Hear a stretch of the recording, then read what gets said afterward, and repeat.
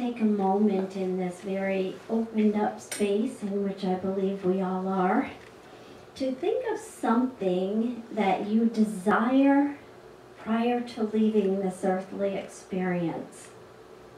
It could be a change in relationship, financial situation, it could be an item, a thing, or a person, a place, or a situation. But just get an idea in your mind of something that is calling to you. Could even be being a practitioner. And then just let go of it and know that it's present, it's there with you, and it has planted its seed into the rich soil of life. And now I would like you to consider these questions with that open mind of yours. Do you procrastinate? Do you put things off until later that you could do today? Or do you forget to allow yourself to take the time to sit in the silence, to listen for divine wisdom, that inner voice? Or maybe you give yourself plenty of time to sit in the silence, but you forget to take the action that you are guided to take once you receive the word that inner voice of God. Our title today is called Follow Through. And basically, if you want the one word takeaway, it's that science of mind saying of treat and move your feet. Treat meaning always go to God first, always go within, always set that divine idea for yourself into the rich soil. And we're going to talk a little bit later about how to do that. But for now, let's look at that second part of move your feet. Because simply sitting there and sitting in the silence accomplishes nothing except knowing that which you desire. But even if it shows up all on its own without you needing to actually do or say anything, if you're just sitting there, you didn't even notice it showed up.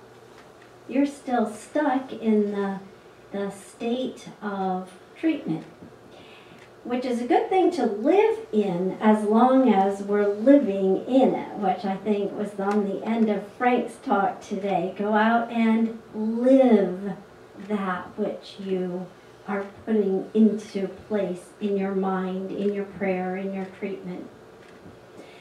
Our founder, Ernest Holmes, um, said that he never had in any indication in all of his life that he would be one of the great spiritual leaders of his time. He said that he never actually felt a special calling. And I know the first time I read this, I was like, oh, really grateful because neither did I. And you know, when you go through ministerial school, you sit with like 50 other people in a great big circle and everyone goes around and says what their calling was, how they came into their calling, and and they have these fabulous stories about sitting there and getting a burst of light or or talking with someone and they said something and it was just like, oh, I'm supposed to be a minister. Mm-hmm. No, not for us. It was an evolution. So I was ever so grateful to er learn that Ernest Holmes was also. He said he never felt a, a special calling and he never felt like he was singled out to do some great task such as creating this magnificent, incredible teaching. He said that for him, he believed his own understanding was a result of, now listen carefully, a result of natural growth and unfolding that this evolution was available to all. Natural growth and unfolding. That's what we do when we treat, receive guidance, and move our feet. And we've probably all experienced that, but I know for myself there are times when something's on my plate and I'm like, I just don't understand why this isn't shifting. And God in me has a great sense of humor because I hear this hilarious laughter going, Really? Don't you? Oh, oh, I haven't actually sat down and treated about this. Or, no, I did treat about it and I got this wisdom and this guidance, but I really didn't think that was for me. Ever done that?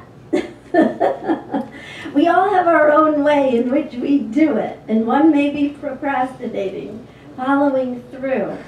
However, we each must plant the seed of desire into the law so that it can take action. There's a great story about Victor Hugo who was given a year to write his book, and he was commissioned by the publisher, and he had agreed he would do it in a year. But he had a year, so he thought, well, you know, I'm really busy with projects I'm doing now, and I'm really enjoying life, and I love to socialize, and I love to entertain and have guests come to the house and travel. So he kept putting it off and putting it off and putting it off. And when his publisher would check in, he noticed that he really didn't have anything yet for him. And so the publisher said, I am going to give you a deadline now, and you have less than six months in which to get that book written for me. Now, when the publisher told him this, he felt a little more urgency to accomplish his task. And so he concocted a very strange plan to overcome his procrastination. He gathered all of his clothes and he gave them to his assistant and he said, I need you to lock all my clothes away somewhere where I can't find them, can't get them. He took a great big shawl and that was all he had until that book was written. And the book, The Hunchback of Notre Dame, was published two weeks early. So, where did that inspiration come from? He knew himself. We know ourselves. We know what we need to accomplish something, and we have the power to give it to ourselves. And the truth is that whatever we think about, we will bring about treat and move your feet. The Buddha said, however many holy words you read, however many you speak, what good will they do if you do not act, if you do not act upon them? Well, we just started practitioner class, Mark and I.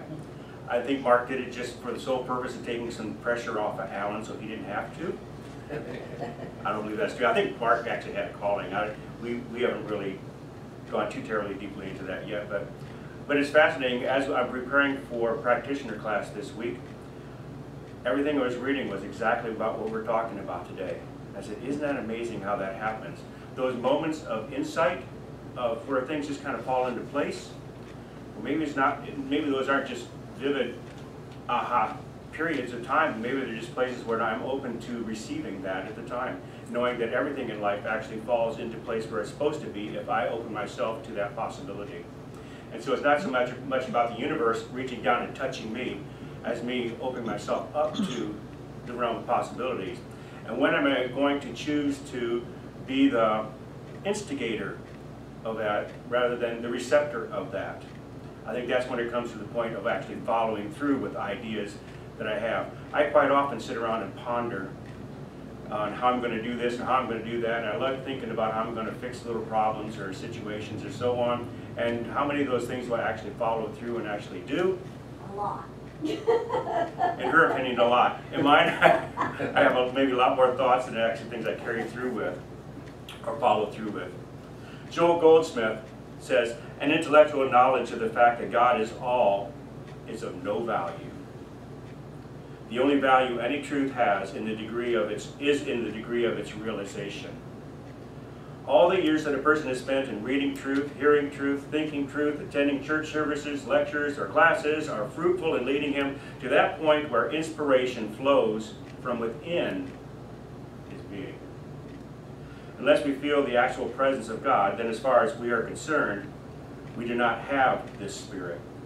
It is like saying that electricity is everywhere. And electricity is everywhere, just as the Spirit of God is everywhere. Electricity, however, will be of no value to us unless it is connected in some way to our particular use. So it is with the Spirit of God. It is everywhere in an absolute spiritual sense, but it is only effective in our experience to the extent to which we realize it. We have to take the move.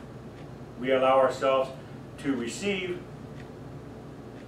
divine influence, whether or not we make the steps and make it real in our lives is, is really important. I think it's really maybe more important. It's where we practice actually living the science of mind rather than studying it and saying, wow, that's a beautiful statement. Or wow, that makes me feel good when I hear that. How does it make you when you, how much does it make you feel when you actually do that? Have you carried it through to actually making it work in your life? Are you actually living the science of mind? You know, we work the system until we get things going in the right directions, and then we let go. We do what is ours to do in this physical human experience, but there comes a point where there I can no longer do anymore. I've thought all the thoughts that I can do until I absolutely believe it's a possibility and I believe it's a reality, and then I come to the point where I let go and I let Spirit take over. Let universal law take over and make it become manifest. But that doesn't mean that I just release absolute responsibility. I still hold consciousness and I still prepare my physical experience for the influx of that good which I have treated for. So sometimes I have a little problem with that idea of letting go and letting God. We feel like, okay, I said the prayer, okay, now it's all done and it should manifest for, for me automatically. Well, it will as long as you continue to hold the consciousness because what you have done is shifted your own consciousness to your ability to receive. Now, receive. So letting go and letting God is letting God go through the process so we don't have to control the entire thing. But we do have to remain consciously aware of the uh, possibilities flowing to us. Carrying through is something that I remember learning about all my life. And I've never been really athletic, but I did play baseball when I was a kid. And I did learn how to play golf and some other things like that. But I remember playing baseball, we were told that once you swing, you don't stop when you hit the ball. You carry on through. You finish the arc all the way through. And then, as soon as you hit that contact, hit that contact with the ball, you carry through and then run like heck. That's carrying through. You don't hit the ball and say, oh golly gee, look at it go. Now in golf, I learned something quite different. In golf, you hit the ball and you watch it fly. You don't just hit the ball and say, okay, let's move on to the next hole hit the ball and you watch it go. I learned a lot in golf. I, there's an old old guy that helped me um, learn how to play golf, I think, because he needed somebody to play with. But um, I was, I sometimes I thought I was pretty good at it, but I wasn't exactly sure. But he told me all the details, and there's so many details to playing golf. And you have to first you figure out where the hole is. You aim your body this way, so you're going in that right direction. And you address yourself to the ball, so you know where where you're going to hit. And there are all these things about your stance has to be right, and your grip has to be right, and you have to, how fast you move away from the ball is important, how fast you come back towards the ball is important, hitting the, hitting the ground just a little bit before the ball so that you can get a good lift on it, and then keeping this leg straight, keep this arm straight, keep this arm be flexible. Don't let you be, you can be flexible, but you can't bend your knees. And all these things, all these details, and I found out every time I hit the ball, it would go in the woods over here. Sometimes really far in the woods and sometimes on the edge of the woods. It was always in the woods. And he was always telling me, well, what you did wrong was this, and what you did wrong was that. And so the next time I did it, I would address that issue. Okay. Sometimes I had to go start the back swing like five times before I got the right speed. And it's all relevant to how far you are from the hole and all that kind of stuff It really matters. But I realized, geez, this isn't really any fun. It's too much work. And I suddenly realized what I'm doing is I'm thinking about my backswing and hitting behind the ball and carrying through and then watching the ball fly and don't bend your knees, don't bend your arms, don't do all that stuff. The only thing I'm not thinking about is hitting the ball. That's the only thing that never occurred to me while I'm going through the process, never thinking about hitting the ball. And as I'm doing that, I look at my friend, who happened to be a singer, by the way, and I said, oh my gosh, this is just like singing. It's exactly the same thing. And he goes, what?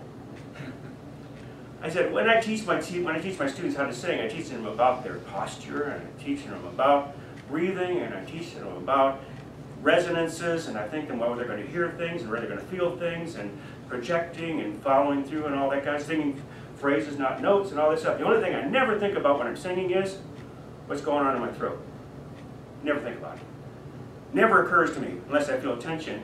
Then I realize one of those other 16 things are out of sync. But if I'm thinking about where I'm going, what I'm doing, where I want it to go, and how I want it to sound, all of a sudden, it all falls into place. It's so easy. Now, that's, that's something I have a passion for and something I don't mind doing work for. I don't mind, mind paying attention to all the details because it's something that I feel passionate about. Golfing, I don't golf anymore.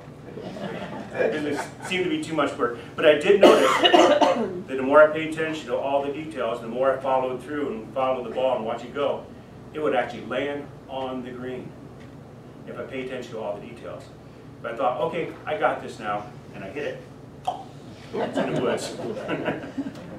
Following through. I noticed that, uh, I found that, that in uh, police training, when they're talking about driving, they always they say, look as far as you possibly can in the, in the future, as far as you can possibly see on the horizon, and follow the road as far as you can possibly see. Of course, you keep your peripheral vision on everything that's happening around you, but you pay attention to what's happening as far as you can possibly see in front of you, so you can plan ahead when you get to that point. Always looking to the forward, always looking to the future.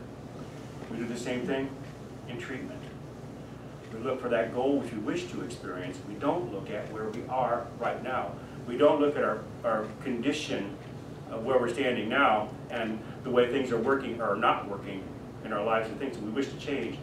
We look at the possibilities of that which we wish to experience and constantly keep our focus on that which we wish to experience far ahead of us until it becomes not quite so far ahead of us, until it becomes not quite so far ahead of us, until it becomes present in the now moment we can actually experience it. There's a time when we no longer physically or mentally control the conditions around us, and when we let the spiritual process take over, then we mentally direct and practice affirmative awareness, constantly holding on to that idea which we wish to experience. And when we do that, our thinking is so positive and our thinking is so affirmative, there's no way that the old condition can recur front of us. We hold ourselves on to the positive process and the activity which we wish to experience. That's the difference between hope and demonstration. The difference between wishful thinking and manifestation, and seeing the picture and realizing or embodying the final condition. We hold that idea from the very first part of the process. You hold an idea of that which you wish to experience, and you never release that you hold that idea of what I wish to experience as the ultimate goal, and through the entire process of the treating and waiting for manifestation, we hold that constant idea of constantly looking forward into that experience. We're always carrying through from the very first initial act. And I know I personally am glad you chose singing instead of golfing. So I'd like to conclude today with us um, revisiting in our own mind that idea that you thought of at the beginning, something that you would like to make manifest, something you desire in your life, whatever it may be. As we listen to Ernest Holmes' words for how to, he doesn't say how to, I said that. He says, when you want to do a big thing, and remember everything's a big thing, get the mental pattern, make it perfect, know what it means, enlarge your thought. Keep it to yourself. And I believe what he means by that is don't tell people that you know are going to be negative because we do believe in, in race consciousness and collective thinking. So if you know, like putting your prayers and treatments into the treatment bots out there, and you know that all the, the practitioners that are going to be treating for you knowing your highest good, well, that's a good thing to tell somebody else. So I don't think he means don't tell ab- absolutely anyone, but he does mean don't tell anyone that you're going to hear negative feedback from or that won't hold the highest good for you. Pass it over to the creative power behind all things. Wait and listen. Notice he doesn't say how long. He says wait and listen. And when the impression comes, follow it with assurance. That's the move your feet. Don't talk to anyone about it. Never listen to negative talk or pay attention to it. And you will succeed where all others fail. And so it is.